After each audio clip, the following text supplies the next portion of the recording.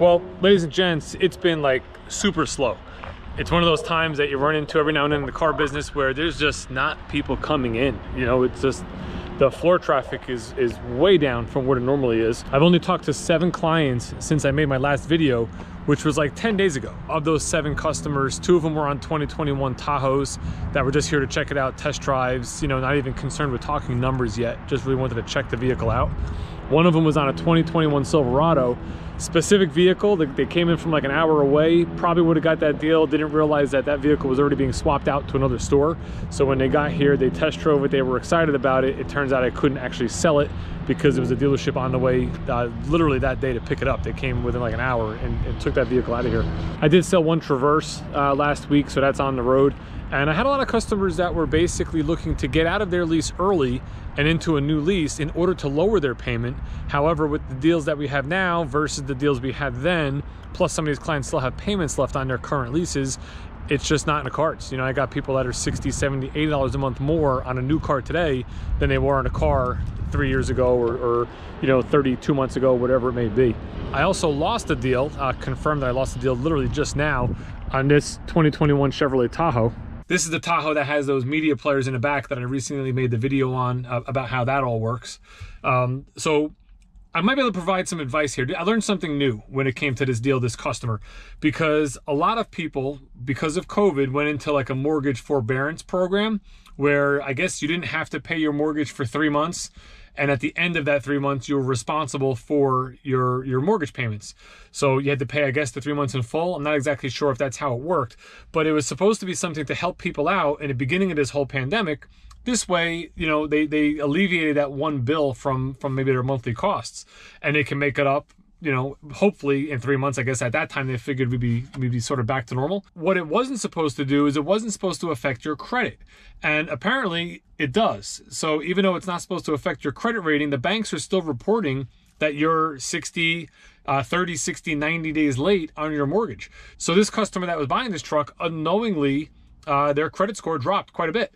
And because it dropped below a certain tier, the lease that we had figured out, which was like 850 a month based on their structure, turned into 975 per month at the at the lower tier, you know, the lower credit tier. So we helped them out a little bit. We got it to like 950, but for $100 more a month, they decided, you know what, it's not it's just not worth it. Let's look at the Traverse. So they looked at the 2021 Traverse, which is what I have here. We priced it up. Uh, they also shopped around, looked at a Hyundai Palisades and some other vehicles. Uh, in doing that, they found a dealership that had one leftover 2020 Traverse, and because it was leftover, it was cheaper, and they ended up going with that vehicle. Another thing I learned in the last week was uh, a very interesting situation, which I want to bring up as well, because maybe somebody watching can just make sure if they do this that they take uh, take the proper precautions. I have a girl that came in who had a leased vehicle for a couple months. She just started doing a delivery job for a restaurant, or she said she was doing Uber Eats, but it was for like an actual company. So she was delivering food. She went to one of her first things that day. She double parked her car. She brought the food up to their house. When she turned around, her car was gone, stolen. They end up finding that car totaled a couple days later. So she called her insurance, went through the whole process. Her insurance is denying paying on the car because technically it wasn't insured for business use for delivery. Now, back 20 years ago, more than that, I delivered pizzas for a guy that ran a Papa John store as a favor for him for like two months. I never called my insurance to, to think that I would have had to make some sort of a change to my policy to cover the vehicle in that instance. So now this poor girl has a full payoff balance on her Honda lease that she has to come up with. She has to pay it. So she's gonna have to figure something out because the insurance company will not pay it. They had some lawyers involved. It's been going on for like apparently like four months, and uh, they're they're losing that that case. They're not going to win it. The insurance company is not covering that that car. Um, so just if you're doing any kind of food delivery or delivery of any kind with your vehicle, it makes sense. Make the phone call, put it on record, ask your insurance if you have to do anything additional. Even if it costs a little bit more, it could save you just in case something like this happens.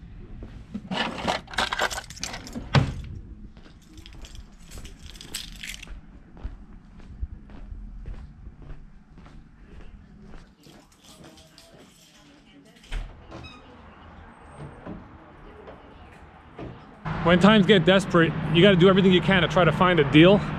So I have something in the car here that we're going to use and see if we can find ourselves a deal. There we go. All right.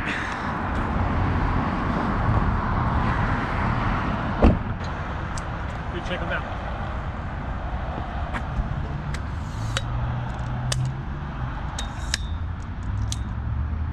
We're looking for, we're looking for deals. These are actually astronomy grade binoculars. I bought them for my wife when we first started dating like five, well, 10, nine years ago, 10 years ago now. And uh, it's pretty cool at night. You just look at the sky and it just like opens up the sky as far as stars. Really looks cool with the moon. Uh, you can see Jupiter and the four moons of Jupiter. So, I mean, you're not seeing like the colors of Jupiter. You're seeing like a bigger star and then the little stars, what look like little stars next to it, but that's the moon. Uh, I brought them today to hopefully take a look at some stuff. We're also want to try to spot the space station. However, uh, with the clouds in the sky, today's really not going to be the day. Plus, we just found out rather than closing at 7.30, we're actually going to close at 5 o'clock. So we're leaving a little bit early today, uh, being today is the day before Thanksgiving. You see any deals out there, Sal? This is bad. We're actually, we can see the people in the office building across the street there. Where did she go? She had a blue coat on. She left. Dude, look at that.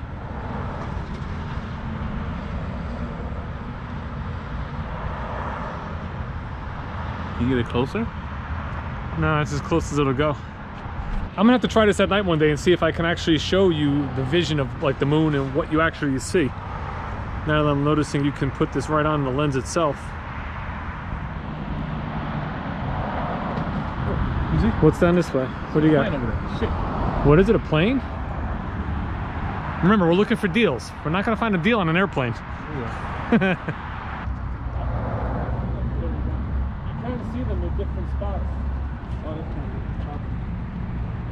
I can find it with this.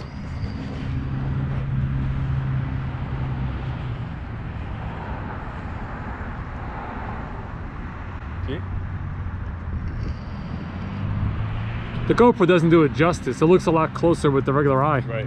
than it does with the GoPro.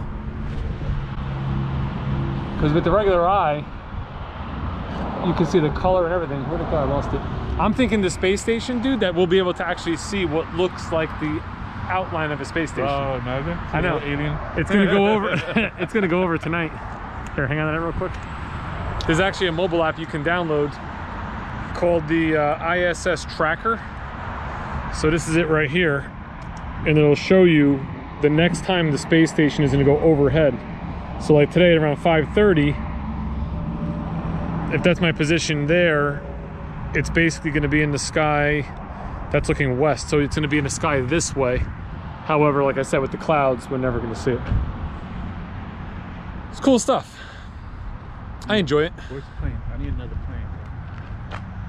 Maybe you can find some migrating geese. See what the moon would be cool. Like when you look at the moon with it, it's it's sharp. There's nothing in the sky though.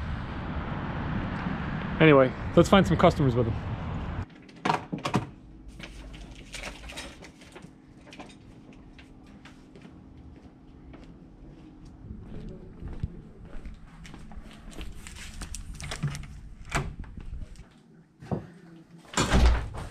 Just got the phone with a customer I'm working a deal on a Traverse. Uh, we've been going back and forth a little bit.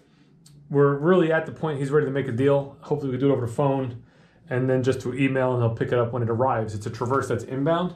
I just need Sal, once Sal comes back, he's not at his desk at the moment, uh, just to see if he can do this number. I don't know if we're gonna be able to do it. He's looking for a round sale price, which means we have to drop this by another $847. Uh, right now, we're already uh, very aggressive on pricing. So I'm gonna be honest, I don't see it happening, but that's not my decision to make. So what I have to do is I gotta try to sell Sal on the fact that we need to put this deal together. And hopefully we can. Or like car sales, right? You meet in the middle somewhere, you figure something out. The guy that we were doing a lease on, that we sent the um, the structure over to the other day to like the screenshot, he's trying to be at a forty thousand dollar sale price on this, which means we have to discount eight hundred and forty seven dollars further than you already did. Can we do it? It's in stock. It should be here in a couple days. Right now, I just want a unit because I'm really down from where I would normally be. This month is just complete garbage. Available sales for the showroom, available sales. So um, if I can get a unit, know, sometimes you get that sale, that unit, it gets you pumped back up, and next thing you know, you're off and running, build a little momentum. Ay, ay, ay. I know. I told you. Here's what I'll do. Just because it's you. All right, so we gave him some. That is all. And what's that going to bring the payment to? Um, if you're doing the incep- inception fees, it really depends if uh, eh, 36 months come out to 391. His best bet will be 27 months, which comes out to 389. All right, cool. I'll call him back. Thanks. All right, ladies and gents, we got a car deal. We're gonna write this one up. Subject to, we just gotta make one quick correction. He was gonna pay all the inceptions up front. Now he wants to actually roll the tax into the payment. So his payment will go up a little bit, but he's gonna pay less out of pocket. So uh, my main man Sal Hills, gonna figure that out for me. We'll write this up. We'll email it over to him, and then hopefully this truck comes in Friday or Saturday, and we can get it delivered out before the end of the month.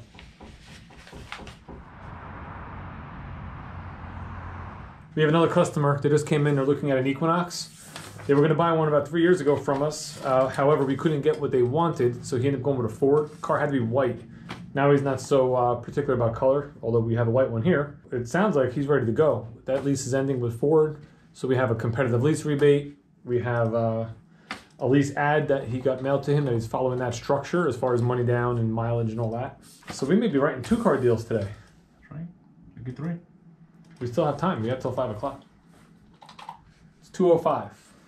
They seem to be going slow, huh? A little bit. Um, is he rolling anything in? No. When you get these ads and customers come in with this stuff, it's awesome because it literally tells you in the fine print exactly what you have to do to get to this amount.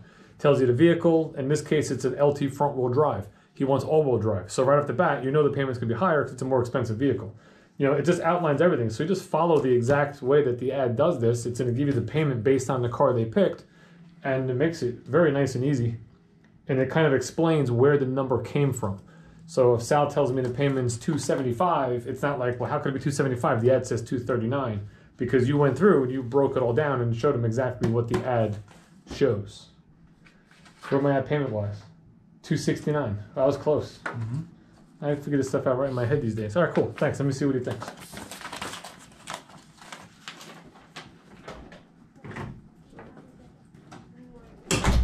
So, um, he's his son's looking for him as well. I think I can't close a car deal anymore. Uh, he's fine with the numbers. Everything looks good. He's happy.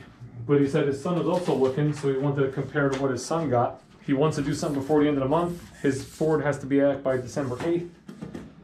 I asked him if we can save you a little extra money. You know, would you want to put something together today? It's the day before Thanksgiving. You know, apply a little bit of pressure. He's like, nah, my son wants to go over what he found. And so, I mean, we can do that anyway. I don't know. I just keep taking a shot.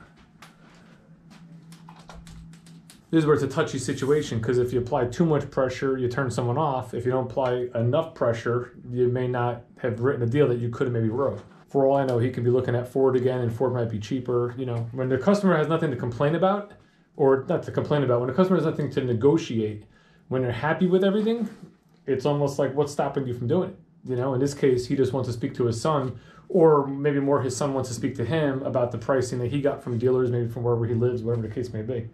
Same out of pocket. All right, cool, thanks. So in a situation like this, to make it a little bit sweeter, Sal just saved him, how much is that? $22? $22 a month. Not bad. Let them know. No deal right now in that Equinox. However, I think we have a very good possibility with that one. Uh, the gentleman wanted an Equinox last time, like I said, but we just, the salesman at the time couldn't find what he wanted. This is the vehicle right here. It's in stock. It's the color he wants. It's the package he wants. Has all the equipment he wants. So hopefully he just goes over with his son, you know, whatever uh, research his son had done on uh, on the Equinox, and decides to go with us here. He lives right in town. So um, should be a deal. And that's really how the car business is. You know, one minute you have no deals and you have nothing going on, and the next minute you get in front of two customers and you write one deal and you might possibly write a second one very soon. So listen, everybody, have a happy, safe, healthy Thanksgiving.